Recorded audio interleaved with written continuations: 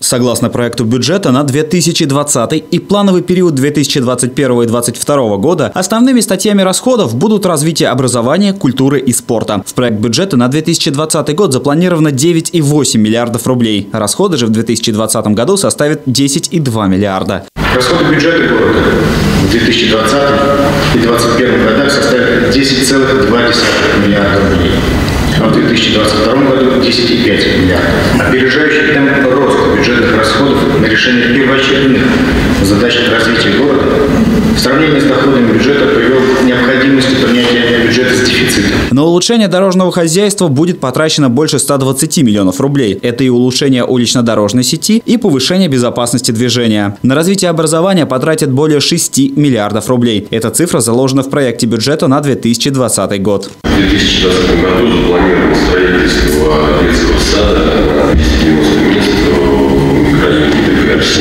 ДКР-7 «Семья». Проект уже прошел отбор. Ждем введения денежных средств. Также запланировано э, строительство, ну, вот это поправлюсь, проектирование и строительство в следующем же году, в 2020 четырех пристроек, действующих учреждением.